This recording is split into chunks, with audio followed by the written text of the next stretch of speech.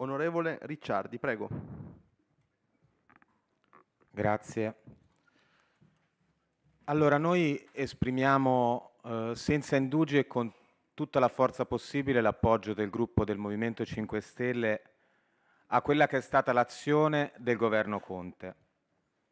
Eh, iniziare la procedura di caducazione della concessione è un atto sacrosanto e doveroso e, e sentirci ribattere con l'argomentazione, come è stato fatto nei giorni successivi, dell'eventuale risarcimento che lo Stato avrebbe dovuto dare al concessionario, è una cosa surreale.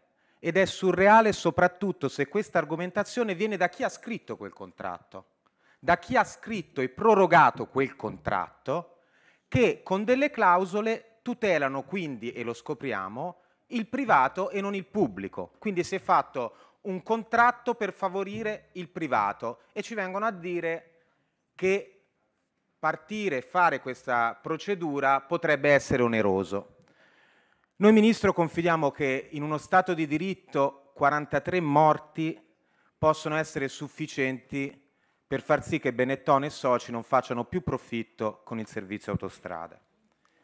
E 43 morti non sono morti per una fatalità, per un tragico inciampo del destino, no? Noi viviamo in un paese che da anni infanga la cultura della progettazione, disprezza la competenza e umilia tutta quanta che è la pratica della manutenzione e in una città dove, attenzione, il crollo del ponte Morandi viene dopo due alluvioni e dopo la caduta di Torre Piloti.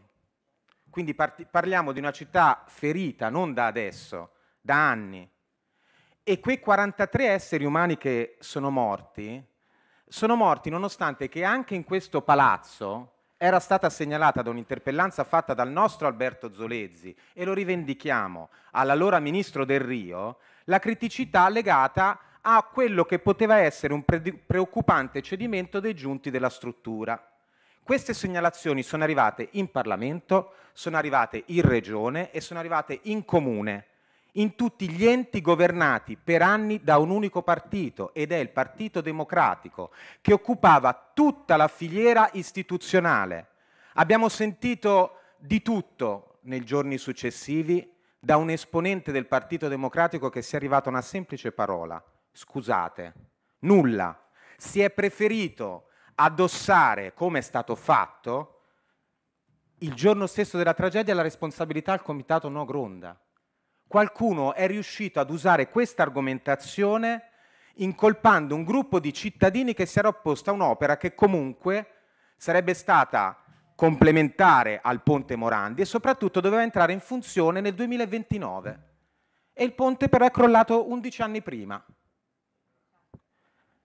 È crollato portando con sé questi 43 morti che noi lo diciamo chiaro e tondo, sono morti per profitto profitto permesso e concesso da uno Stato che ha svenduto i patrimoni pubblici in questa scellerata politica di privatizzazioni che tutti i governi di destra e sinistra ci hanno spacciato come una razionalizzazione necessaria, un miglioramento dell'efficienza dei servizi, perché il pubblico non poteva garantire. Certo, il pubblico che governavate voi non poteva garantirlo, perché quel pubblico era avvelenato e incancrenito dalla vostra classe politica che invece di affidare questi settori a persone competenti e oneste, li imbottiva di clientele di amici degli amici e per forza poi il pubblico non funzionava.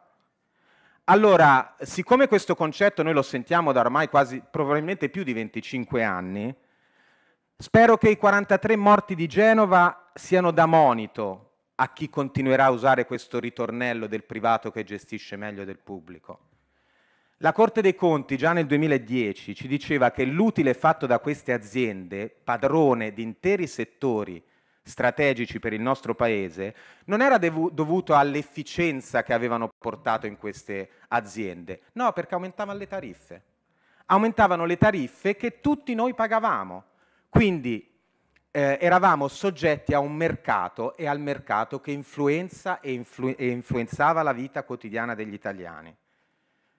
Vedete, al funerale delle vittime di Genova, tra le molte persone, c'erano anche un gruppo di donne e uomini provenienti da una città vicino Genova, che si chiama Viareggio.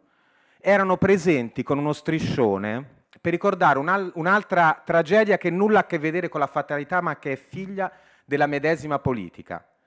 Il 29 giugno del 2009 sono morte 32 persone alla stazione di Viareggio. In quel caso la risposta dello Stato è stata di non costituirsi nemmeno parte civile nel processo, di conferire all'amministratore delegato, l'allora amministratore delegato di Ferrovie dello Stato Mauro Moretti il Cavalierato del Lavoro nel 2010 e di nominarlo nel 2014 amministratore delegato di Finmeccanica.